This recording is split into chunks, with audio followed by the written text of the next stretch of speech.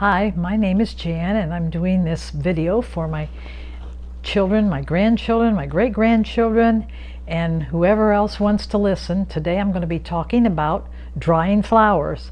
They're so easy and they're so beautiful.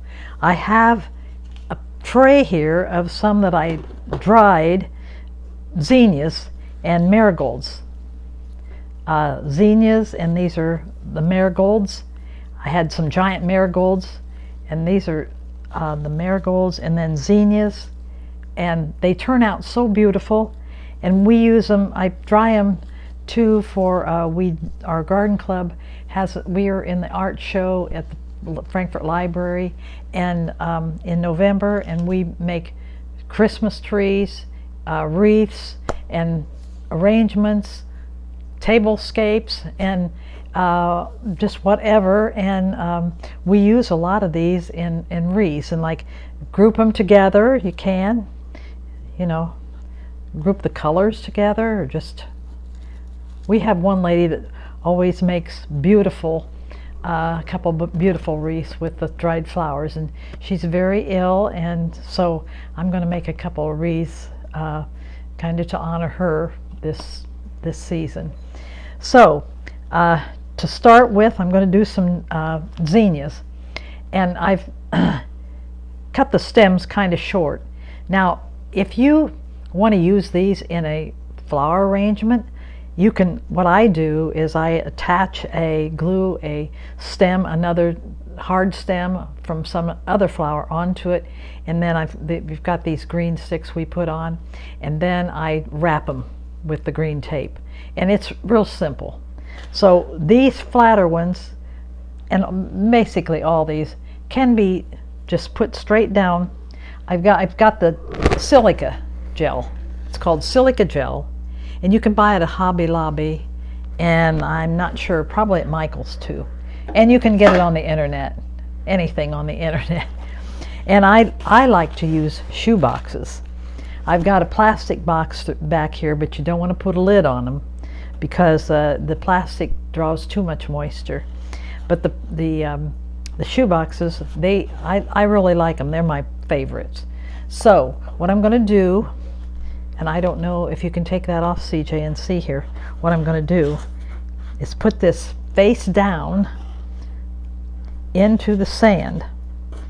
It's called silica gel, but it's like a white sand, but it's got silica stuff in it. And I put them straight down in there and then I will cover them and I stick these stems up. Now these aren't as easy to do but they will dry. They will dry sticking in the sand. But like the flatter ones do better. But it's okay. Look at that one. I think that's so pretty. I mean Zinnias are probably one of the most prolific flowers there is, and I, I planted them next to my tomatoes, and I had marigolds, and I guess I didn't realize they're giants. They're, the plants are probably three to four feet high. but that's all right. I've got plenty of tomatoes. Beautiful tomatoes, actually. But they're winding down. But see that big orange zinnia? Zinnias just keep blooming though. They, you the more you trim them, the more, the more they bloom.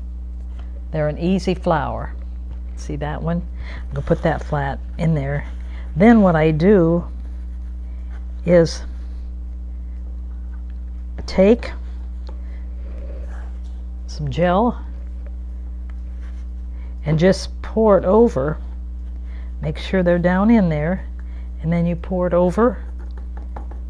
And then when I'm done, I'm going to kind of shake the box so it, that they can get it can get around all the all the petals because you want it to dry nicely and okay I'll just that and then I'll finish that later. This is called um, artemisia. It's a it's not wormwood artemisia. It's a variegated artemisia, very invasive, but it's beautiful. I have to dig out a whole bunch beside it every year, but I use it in um, when it dries. I use it in Christmas trees to add to you know poke it in to add depth to the to the trees, and I usually um, I'm going to show you how I how I dry them. I put a rubber band around. There's three on here. There's three, but it's better to do it like two or four. And then I take I've got a drying rack in the garage. Plus, I use my my uh, door things that come out. I use them. I I have stuff all over hanging out there, and then when these dry, you can even use. Whoops. You can even use um, these little pieces like you can pull them off and use them in flower arrangements too. So that's the way I do that. And it's so easy. Just put a rubber band around them, stick them in, and then hang them across. So I'm going to put that there. And then uh, my hydrangeas. Okay, here's one of my beautiful um. They only bloom on old wood, so usually you don't get blooms to the top because before they start to grow you usually get a freeze and it freezes them but they they usually come out by the bottom. This year I had a lot of them because we had some pretty nice weather. We did have a freeze but but uh, I had a lot of more down by around the bottom. I think because we had a rain, lot of rain too but I just cut them off short put them in about that much water and I'm going to put them in a dark place and they will dry like that they might lose a little of their color, but I use a little um, that designer paint and just spray a little bit in the air and pull it out. I do that outside though. Spray it and then pull it through and it'll get a little bit of green or burgundy or whatever color you want on it. Let me get another one over here. Here's another one. Here's another one.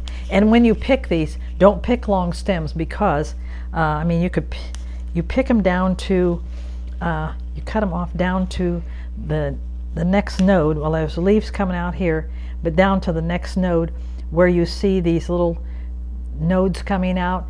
That's, they're setting their buds for next year. So you don't want to cut them off. So I, I do, I cut this one a little longer because it didn't have a thing. But then I want it in the water a little bit. See, it's going to lean over, but that's all right if it leans. That's all right. That's another one. And they're just beautiful. I had one here. Uh, this one is from, uh, it's called, this one is called White Adore. And they bloomed white and then they turned green. And uh, think it's it's pretty ready. I'm gonna kind of do an experiment. This is the first year I've had these and I'm gonna see how it dries. It'll it'll dry. It's maybe not quite ready, but I think it'll be fine. Let me see here. But these are my favorites and I I use a lot of these and when I use them in wreaths, I take you see here it's got all these groups of flowers. And I usually take one or two and put it in a in a part of the wreath. And then you can you can use them you can use like there could be like five different bunches there you could use. You don't put the one whole big thing on the wreath. You use it in sections. So I'll kind of demonstrate that later how to do a wreath. But so that's the macrophylla type, and I think they're gorgeous. Uh, did I show you the dried ones? I did. Okay, they're so pretty. Look at that one. Oh well, okay. I've got a um, Japanese anemone here, and these can be dried. What you do is put them face down in the silica sand and then just cover them up.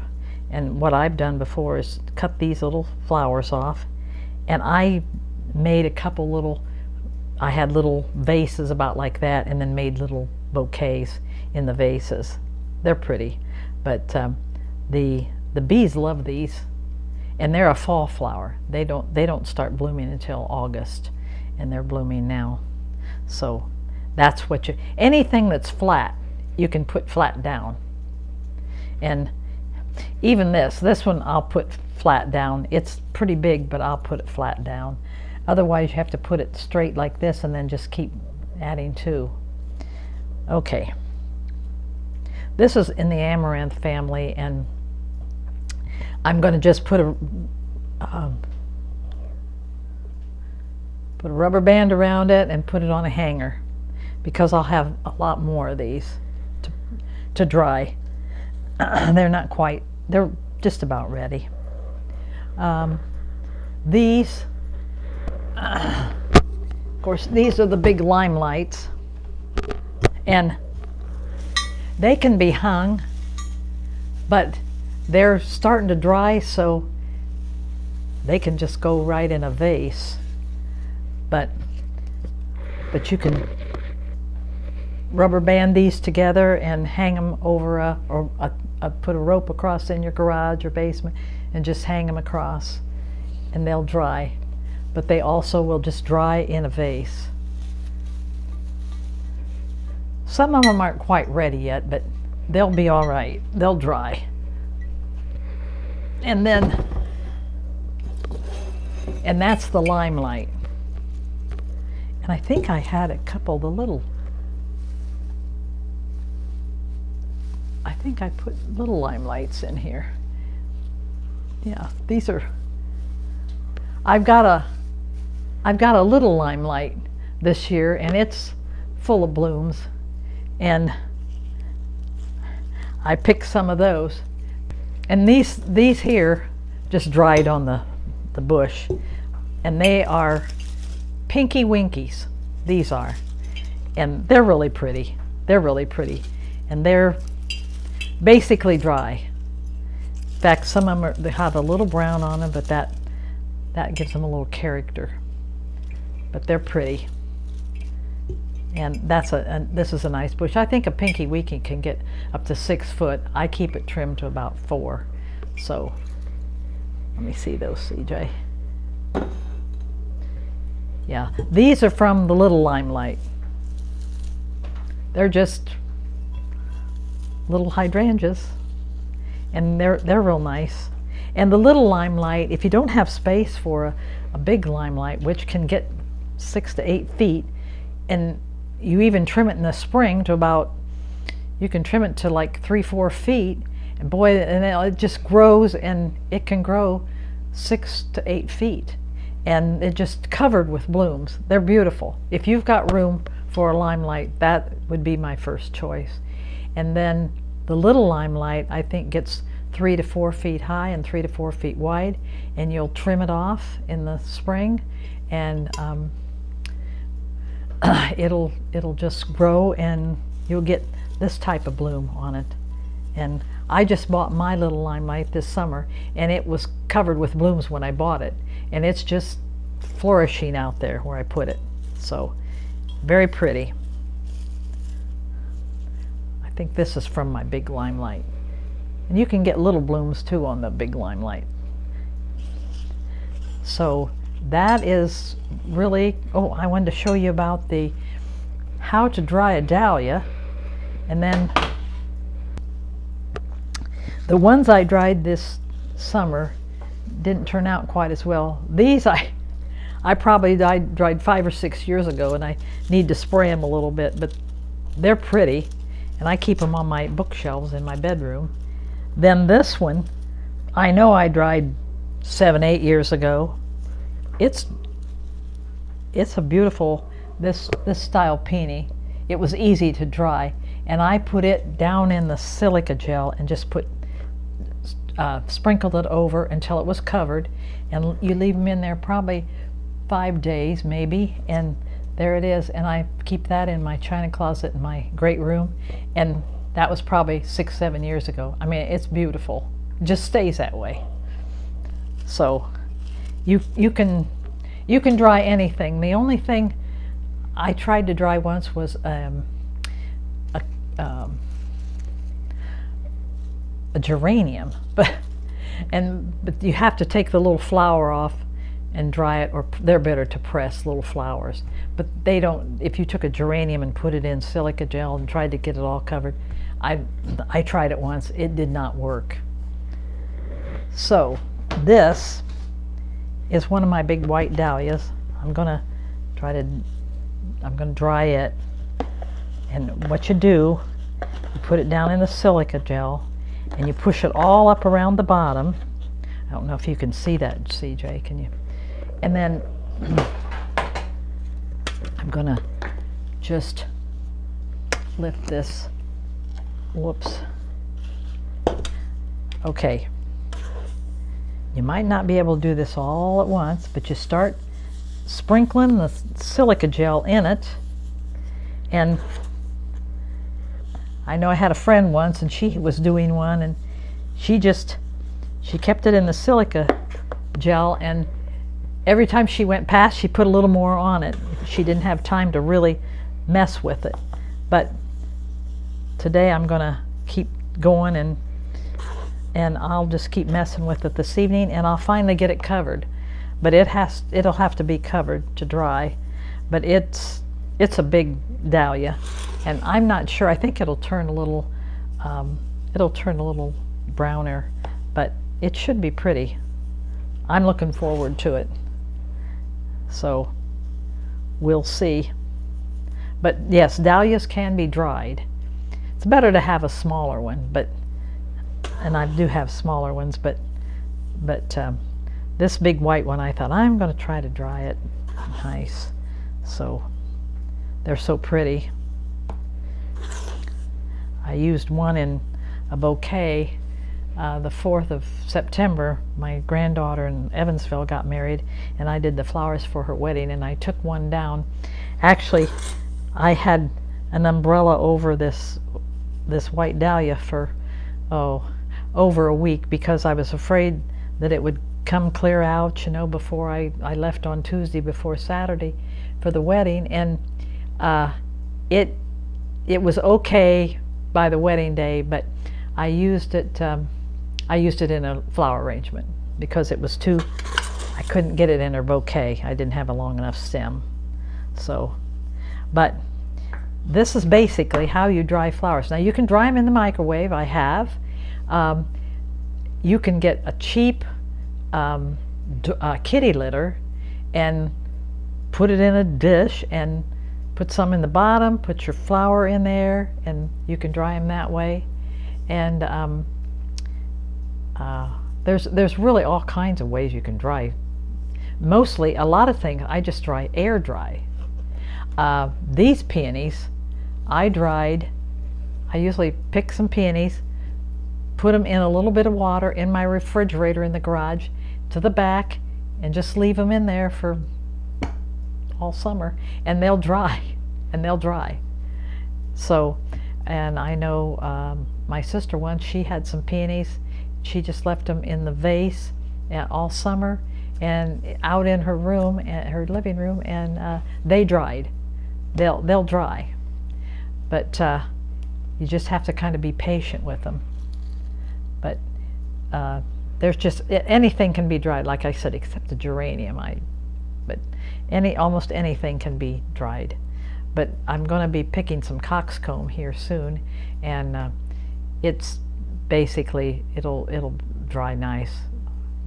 Coxcomb's beautiful, but um, anyhow, I think that's probably it. But good luck on your drying flowers, and it's very easy and beautiful. And uh, but if you get some silica gel, you're all set. But like I said, if you do it in a plastic container, don't put the lid on because any any moisture that's in, it'll just it'll make the flower icky. Believe me, it doesn't work. I know a couple people that put them in cookie tins, but I like the shoe boxes because the, the, the, the cardboard absorbs the any moisture plus the silica gel does too so but listen, I'll see you later and thank you very much.